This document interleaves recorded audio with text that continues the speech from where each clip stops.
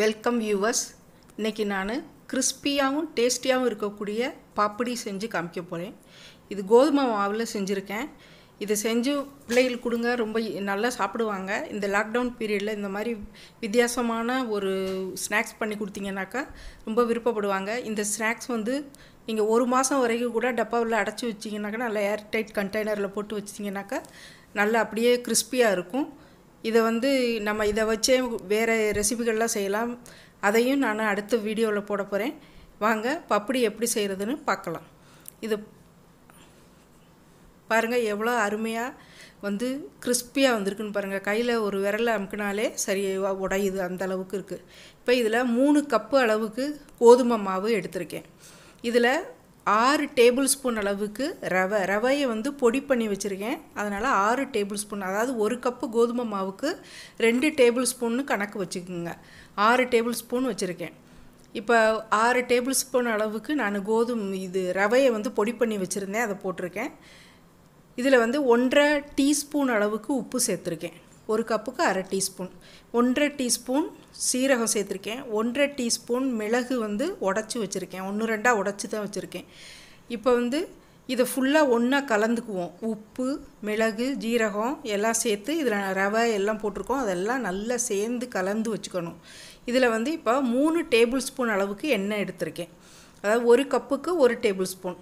இந்த அளவுக்கு எடுத்துக்கணும். எண்ணெயை எடுத்துட்டு இதில் ஊற்றி கல் சேர்ந்து நல்லா வந்து ஒரு இடம் கூட பாக்கி இல்லாமல் வந்து எல்லா மாவுலையும் வந்து எண்ணெய் பட்டிருக்கணும் அந்த அளவுக்கு நீங்கள் பிசையணும்.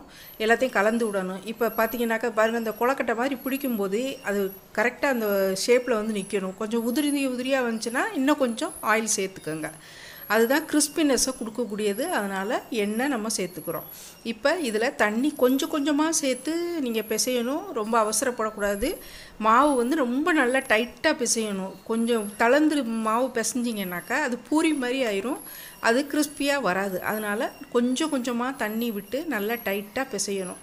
அந்த எண்ணெயும் அந்த தண்ணியும் தான் கரெக்டான அளவில் இருக்கணும். எண்ணெய் ஜாஸ்தியும் ஊற்றிடக்கூடாது நீங்கள் அந்த மாவில் விட்டுட்டு நான் செஞ்சு காமிச்ச மாதிரி நீங்கள் கொலக்கட்டை பிடிச்சி பாருங்கள் அப்போ தான் சரியாக வரும்.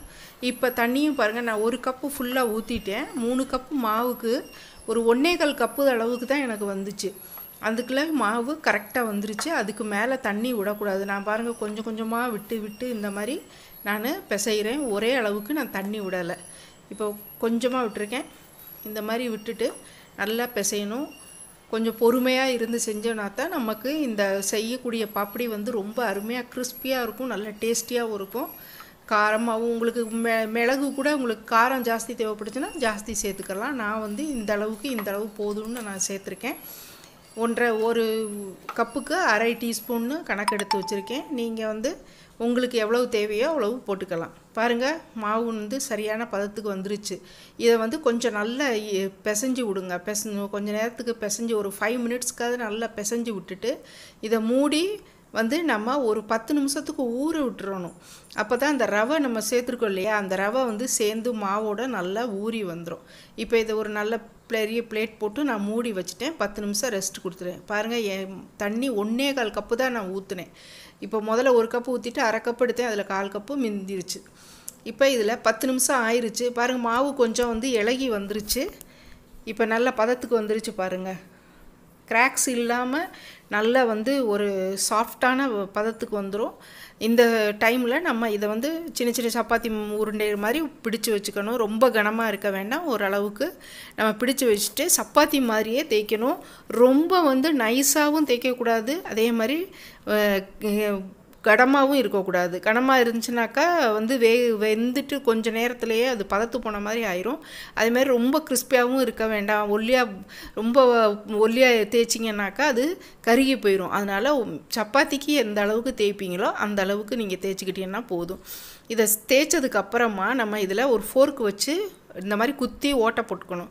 ஏன்னா இந்த பொறிச்சு எடுக்கும்போது பூரி மாதிரி உப்பி உப்பி வந்துடும் அப்போ வந்து அது வந்து சாஃப்டாகிரும் சீக்கிரம். அது கிறிஸ்பியாக நிற்காது அதுக்காக தான் இந்த ஃபோர்க் வச்சு நான் குத்தி விட்டுருக்கேன்.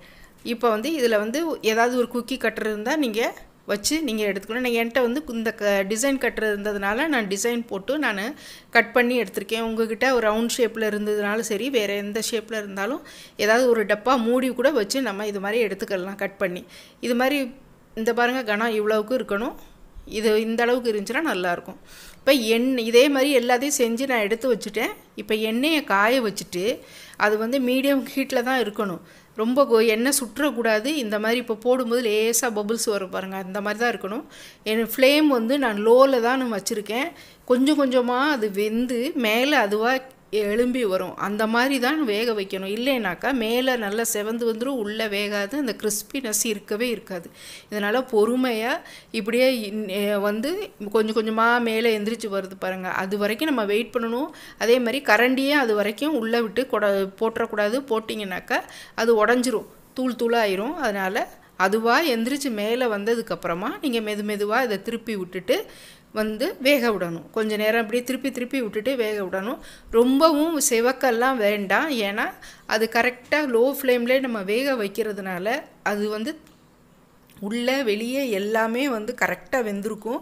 அது இந்த எண்ணெயில் உள்ள அந்த பபுள்ஸ் எல்லாம் அடங்கும் வந்துடும் அந்த டைமு தான் உங்களுக்கு கரெக்டான டைமு நீங்கள் வந்து இதை வந்து எடுத்துடலாம் பாருங்கள் நான் கொஞ்சம் கொஞ்சமாக திருப்பி திருப்பி திருப்பி விட்டுட்டே இருக்கேன். விட்டுட்டு நம்ம அதை கொஞ்சம் பொறுமையாக நின்று செய்யணும். ஃப்ளேமை எப்போவுமே கூட்டிடாதீங்க கூட்டிங்கனாக்கா அது வந்து கருகிரும். அந்த டேஸ்ட்டும் நல்லா இருக்காது. உள்ளே வந்து வெந்திருக்காது. அதுக்கு சீக்கிரமே இந்த கிறிஸ்பினஸ் போயிடும் நம்ம ஆறுன உடனேயுமே பதத்து போயிடும் இந்த மாதிரி பொறுமையாக நீங்கள் வச்சு செஞ்சீங்கனாக்கா நல்ல அருமையான பதத்துக்கு வந்து எடுத்துடலாம். இப்போ பாருங்கள் பபுள் அடங்கினதுக்கப்புறம் தான் நான் எடுத்திருக்கேன். இப்போ அடுத்தது இதே மாதிரி எல்லா செஞ்சு வச்சுருக்க பப்படியும் போட்டு நான் வறுக்கிறேன். இந்த பப்படியை வந்து ஸ்நாக்ஸாகவும் சாப்பிட்லாம். இதை வந்து பப்படி சாட் அந்த மாதிரி எல்லாத்தையும் யூஸ் பண்ணலாம். நான் அடுத்து பப்படி சாட் போடுவேன். நீங்கள் அதையும் பாருங்கள் இப்போ நம்ம பப்படி ரெடி ஆயிருச்சு. இதே மாதிரி செஞ்சு பார்த்துட்டு எப்படி இருந்ததுன்னு எனக்கு கமெண்ட் பண்ணுங்கள் லைக் பண்ணுங்கள் ஷேர் பண்ணுங்கள் என்னோடய சேனலை சப்ஸ்கிரைப் பண்ணுங்கள் அடுத்த ரெசிபியோடு வந்து சந்திக்கிறேன். நன்றி.